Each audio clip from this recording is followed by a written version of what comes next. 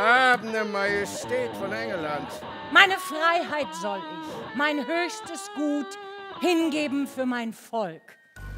Meine Tage sind gezählt, befürchte ich, und ich achte mich gleich einer Sterbenden. Es ist mein gutes Recht, wenn ich Macht mit Macht abwende. Dieser eitle Trotz wird schnell verschwinden, wenn man ihm den Anlass raubt. Was beim Allmächtigen machte sie dir furchtbar? Man sagt, ihr meint es gut mit diesem Staat, mit eurer Königin. Von Gewalt allein ist zwischen mir und England die Rede. Nicht auf des stärkeren Recht beruft euch!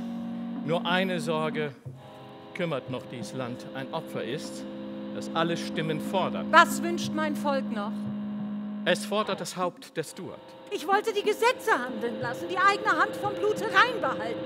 Regierte Recht, leget ihr vor mir im Staube jetzt, denn ich bin euer König.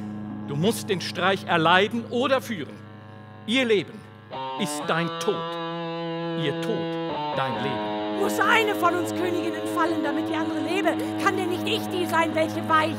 Die Hinrichtung der Stuarts ist ein ungerechtes Mittel. Dieser Federzug entscheidet deines Lebens Glück und Frieden. Treulos erscheint mein Rat, mein unglückseliges Bemühen nach Fothering Hazy zu führen.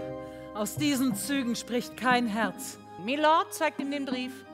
Das ist der Stuart Hunt. Dein treuer Lester war dein Engel. Die Krone ist von deinem Haupt gefallen. Du hast nichts mehr von irdischer Majestät. Die Meinung muss ich ehren. Einem Pöbel muss ich's recht machen. Sie lebt nicht mehr, sobald du es gebietest. Das Leben ist nur ein Moment. Der Tod ist auch nur einer. Der Thron von England ist durch einen Bastard entweiht. Ihr Haupt muss fallen. Unaufhörlich wartet die Königin den Anbruch dieses Tages. Sie ist die Furie meines Lebens. Maria Stuart. Den Morgen ihres Todes.